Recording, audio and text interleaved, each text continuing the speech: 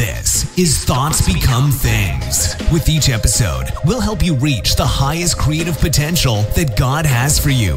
With your host, a teacher, life coach, a dream coach, and motivational speaker, Jeremy Lopez.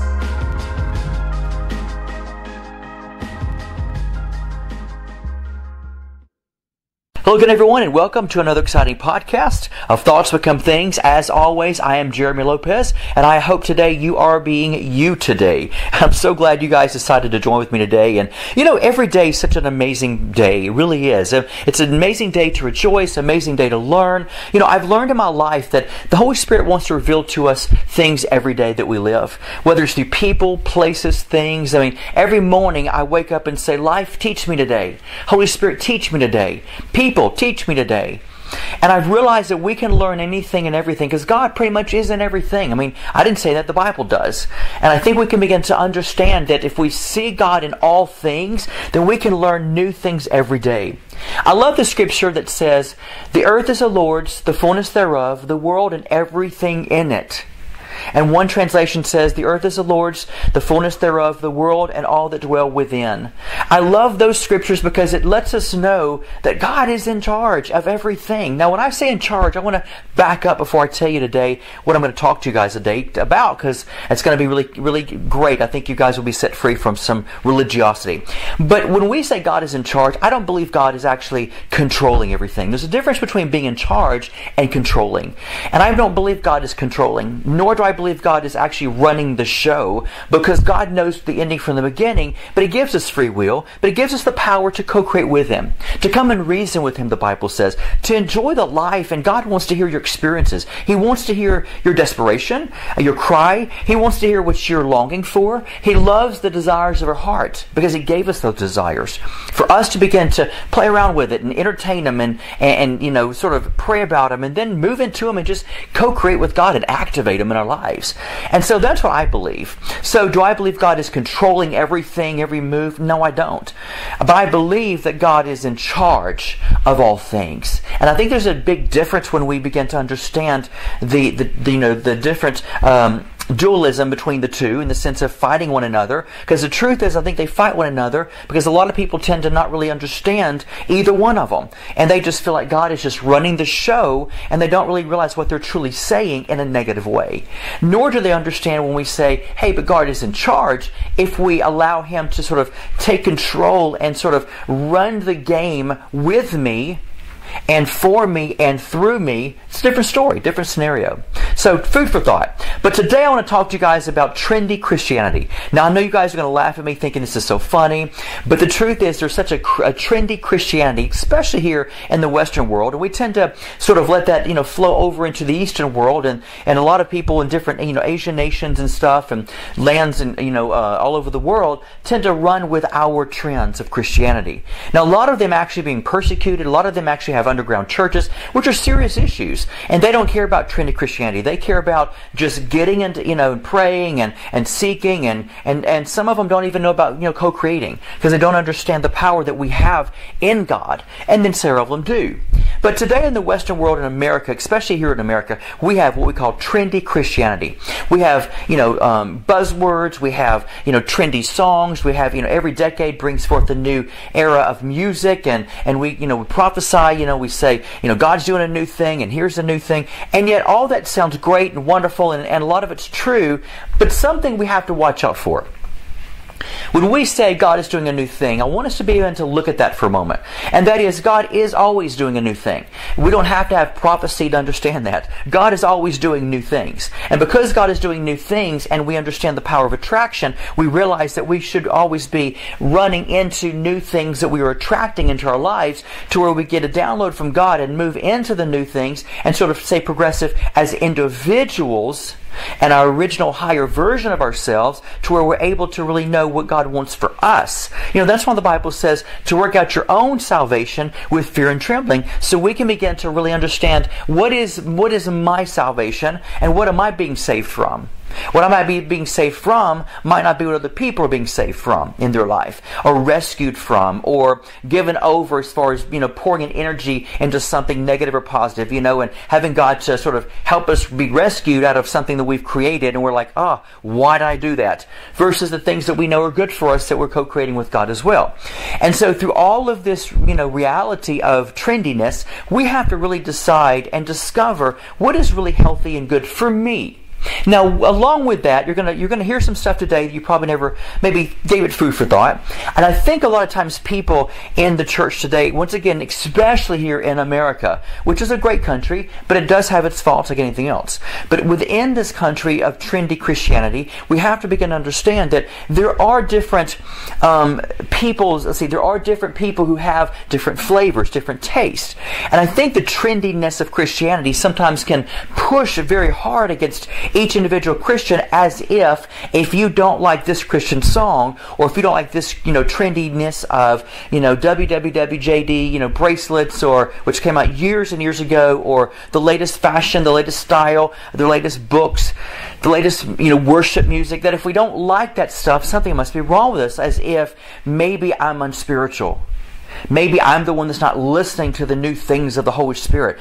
And you know, I think sometimes we have to begin to look at life to say, is that true or false?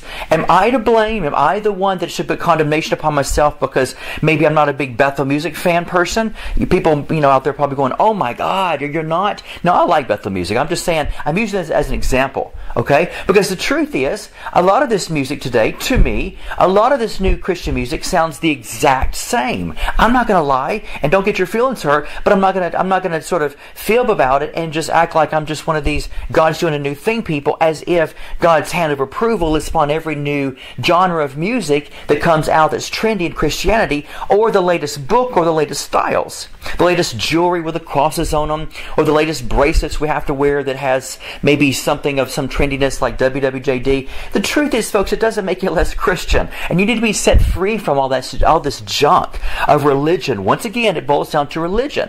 Because religion loves to make patterns. It loves to get everybody in the same zone of legalism. And if you don't like this, something must be wrong with you. Maybe you're not spiritual. Maybe you're not listening to God. You know, you're too busy dwelling on yesterday. You're too busy dwelling on the past. That's not always true. Now, I'm a big believer in the power of the eternal now because I preach it. I teach it. I walk it. I live it. I breathe it. I smell it. I do all that stuff. I believe in living in the now moment, co-creating with God in the reality of right now, realizing that right now is the most important part time in my life because right now is the only thing that I have that's real, that's tangible. I can't prove the past and I can't prove the future because it hasn't happened yet, but I can prove that right now truly exists. And in the moment of right now, I can get into God and I can begin to get into the I amness of God and I can begin to create and see what I need to learn and begin to understand, let, the, let my understanding of God's understanding begin to open my eyes to see things I need to see right now. Absolutely firm believer in all of it. But none of that has to do with what the style in which you like. Now, once again, hear me out.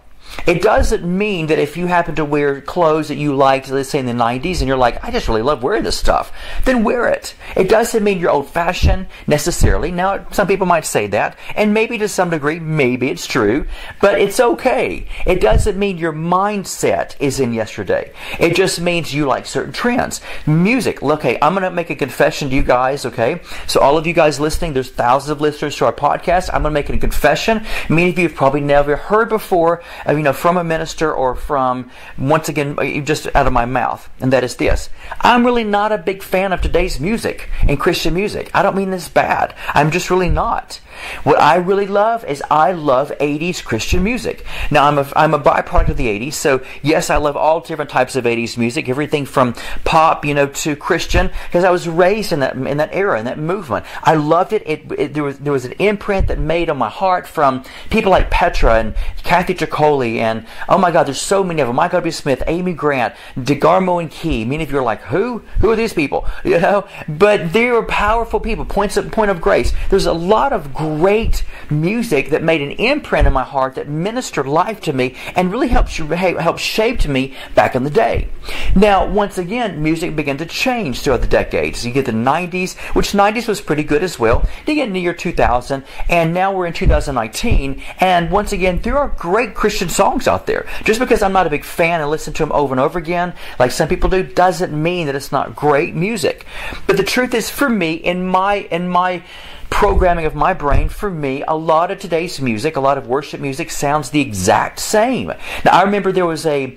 Uh, I don't remember if you, uh, if many of you remember Integrity Hosanna music that came out. It actually started in Mobile, Alabama, my own state here, and uh, back in the 80s, and it was powerful. They made hundreds, uh, I think every month or two, they would come out with a brand new worship album, and it was rocking the house because all the music we used to sing on those praise and worship albums were all the ones I grew up with in church, and I mean, some you could dance to to, some you could clap to, some you would cry to and worship to, and it was awesome. And I loved it. And to this very day, I'm the guy, yes, I'm the dude that has all the old cassettes, but pretty much now I've upgraded them all to CDs when CDs, you know, were sort of coming out back in, I think, the 90s, if I'm not mistaken.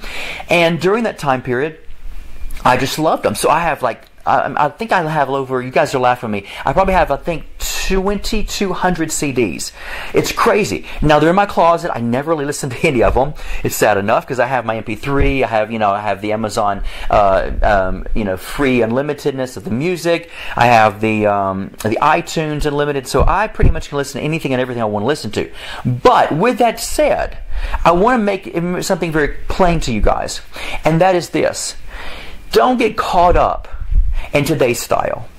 It doesn't always validate that that's the only thing God is doing, nor does it validate God is actually using it, period, nor does it validate God, eh, in order, nor does it validate the fact that God just, you know, His hand is only in that and nothing else.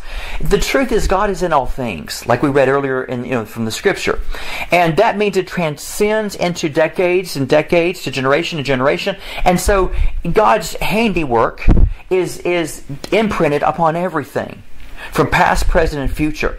Now, what happens is when we get tied up in, and wrapped up in legalism and we make something a, a legalistic um, um, point for us, then only then will it become really damaging to us. So we have to begin to look at life and realize that it doesn't mean that we're, you know, we are um, fashion great, but it doesn't mean oh you're missing what God's doing today. No, I'm in God's what God's doing today. In fact, I'm pretty much more progressive than most ministers and prophets out there dealing with co-creation, uh, law of attraction, you know, um, moving into these things and even revelational things within scriptures. I mean, I'm probably more progressive than most prophets out there. To be very honest with you, I'm not tooting my own horn. I'm just saying though I've been told that I can see that where more where, where a lot of people are still still, you know, doing things the old style, the old way in the church, that's fine and dandy and, and praise God for that. If that's what they feel to do, do it. It's no big deal to me. Not a big deal to me. But so I've realized in my life that when God does a new thing, that means what is God doing a new thing in within you? If you're stuck in a paradigm of religion, you know what? That's your problem. That's a bad issue. When you're stuck in a paradigm, for lack of better words, of what we'll say being stuck, of maybe music that you love that set you free, feel good music that back in the 80s of Christian music, you maybe popped on some, you know, old cassette you had, or maybe you found a great radio station, which was one of my all-time favorites, which I'll tell you guys about in a minute, you know, of uh, 80s Christian music that I love. You know, you might pop that on and like, yes, I'm having a great time, loving the music, remember this. There's nothing wrong with that. It doesn't mean that you're anti-new. It doesn't mean that, you know, the Holy Spirit's moved on and here you are stuck in something. It doesn't mean you're even religious. It just means you found a generation, a decade of music you really loved. And now if, now when it or today's music, let's say Bethel or any of these new you know new artists today. If anything period music um, thoughts uh, neighbors you know places people churches you know theology doctrine if anything on planet earth makes you feel like it's the only way, the only thing, this is what God's using, then you're getting into legalism. You're getting into, and guess what? I, then you know what? You're not just old fashioned, you're truly religious. And you're, and you're the one that actually is, is needing to be set free. Now, if you understand the concept of this is beautiful, it just happens to be my thing, I love it, it sets me free, it's not the only way God moves, you know, in life and in genres and styles and everything, but I love it, it's cool. You know, it's not really the trend of the day, but it's no big deal deal for me. I like it. Then you know what? That's great. Don't be afraid or ashamed to tell people, hey, you know, that's great, man. And once again, Bethel is just a great, uh, they're great people. I love Bill Johnson, love Bethel music. They're, they're rocking the house throughout churches all over the globe. And I am so honored to hear that. But, it doesn't mean you have to always like it. doesn't mean you have to love the latest music. You know, when you get, when you think of people like Kari Jobe and you think, man, she is like so good. She was like, she's still the thing, you know, but she was the thing a couple years ago. And, you know, you might say, oh, I don't like her voice, you know, I'm just not a big fan of her music, you know, or maybe you're like, man, I love her. You know what the key thing is? To avoid religion, then just throw the key away of this is the only way God does it. Throw the key down, you know, in the garbage that says this is the only thing God is moving through. Because the moment you do that, whether it is the latest trend, the latest style, the latest music, the latest thing that God is doing, it doesn't matter. And neither, and, and truthfully, God will tell you the same thing. And that is anything you put your hand upon to mess it up, that makes it sound like, feel like, touch like, act like, smell like, that it is the only thing God is using, you are in legalism, my friend. So don't get confused with just maybe being a little bit old-fashioned versus you know um, religious, or you're not you're not up to par with the new things new things God's doing. Not true at all. I'm a huge music, a uh, huge fan once again of the '80s. I love '80s music. I mean, I rock I rock out of my house all the time. My family and I, we just you know it's just what I do. But guess what? It's not the only thing God's using today. And I get that, and I'm cool with that. Because not everybody's going to like my style. Now, with that being said, let me give you guys a little plug here. I should be getting paid for this. But if many of you have Alexa, or if you have anything of like um, um, Amazon, you know, uh, unlimited on the music or whatever you have. You know, there's a great um, app you can go to. It's called TuneIn. You know, T U N E I N. TuneIn, two words, TuneIn, and there, and it's called CCM Rewound. It means contemporary Christian music rewound. So it's called CCM rewound. And if you just ask your Alexa device to actually say, you know, play CCM rewound on TuneIn Radio, it plays it. And it's and it's all of the absolute best artists of in Christian music of the 80s, you know, a little bit of the late 70s, all of 90s and all of 80s, and it is awesome. And I hear, hear songs I haven't heard in 20 or 30 years, and it, I reminisce on all the days of man, I remember this day. It was awesome. It was great and I just rock out to this music. And so if you're one of those people, I would say tune into that. It's called CCM Rewound on TuneIn Radio. You guys would love it. And there's a plug for the for TuneIn, and there's a plug for CCM Rewound, guys. And just in case anybody's listening and knows about it, hey, let them know. I should be paid for this. But the truth is, it's great. It's a great, uh, you know, decade of music, great genre of music, and I am thrilled to listen to it. But I wanted to do this podcast today because I feel like it might not be very, you know, um, powerful, revelatory, deep things of spirituality. But the truth is, we need to learn that it's okay to have style, your own style. It's okay to have your own genre of, of music you like. And it's okay to say, I'm not a big fan of today's this or today's that. It's okay. And just because, and let me also say this to many of you guys who are in the prophetic move, that are in the charismatic move, that maybe you do some really wild off the wall stuff that you feel like the Holy Spirit's given you. Great, awesome, go for it. I'm all for that. I'm all for that. I do it myself sometimes, but here's the key thing you got to remember is it doesn't mean people that do that are not doing what you're doing doesn't mean they're not set free. Let me give you a great example. I remember years ago, one of my best friends and I, we were in church, and we went to church together for years. And um, and when we did, you know, I was the one that lifted my hands, and I was all happy, you know, clapping, and everything else. He really wasn't that person.